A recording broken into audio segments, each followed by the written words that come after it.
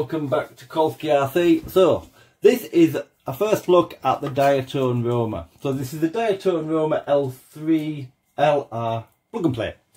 So it's a lightweight quad, allowing you for long range, long distance, depending on what battery you have on here, obviously what battery pack you want to use. And it's designed to give you around 10 minutes flight time on an 850 battery, which is decent. Or you can obviously run it on one of the many other batteries that you can buy now, the um, lithium ion ones to give you a 20 minute flight time. So this is what you get. Also in the box comes another set of props, yellow, which are yellow on a different pitch. You also get a mount, which is a typical Diatone mount to put a GoPro on here. Yes, it will lift a full-size GoPro.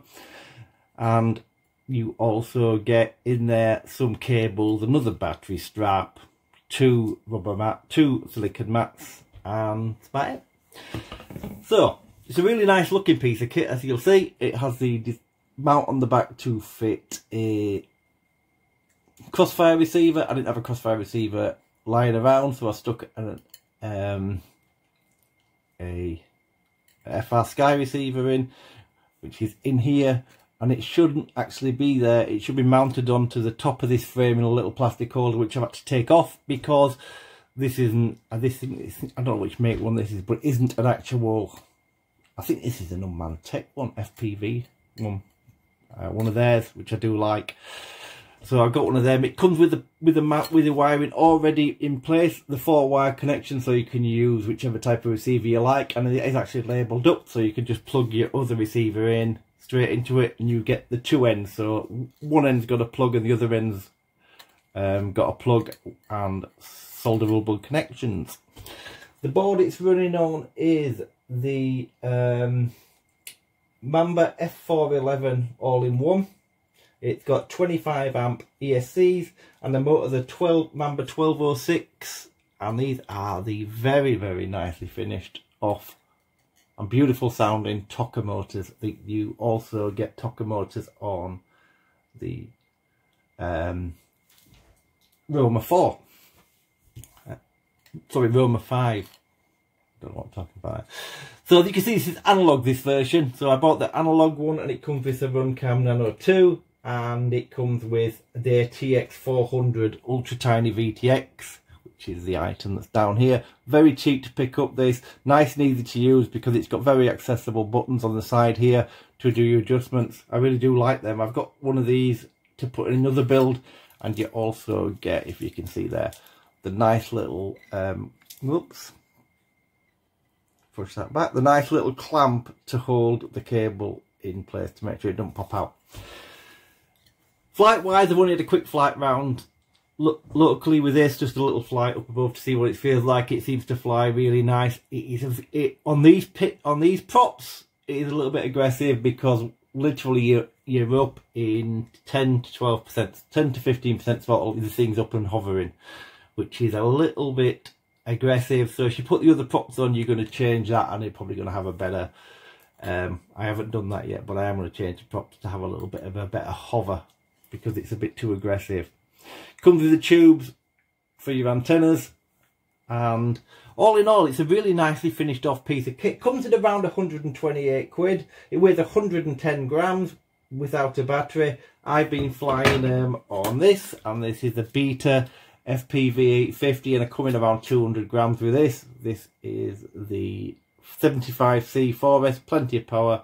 Uh, and it do unfortunately these batteries come from Amazon, I think they're 30 quid for two, but they do come with an XT60 on, uh, and I couldn't be bothered cutting that off and, and soldering it on, so I've just used an adapter. I will cut this off and just put our adapter, but if you leave it on, it gives me the uh, thing to use this on a 5 inch. So, nice batteries. I've done quite a few flights with these now.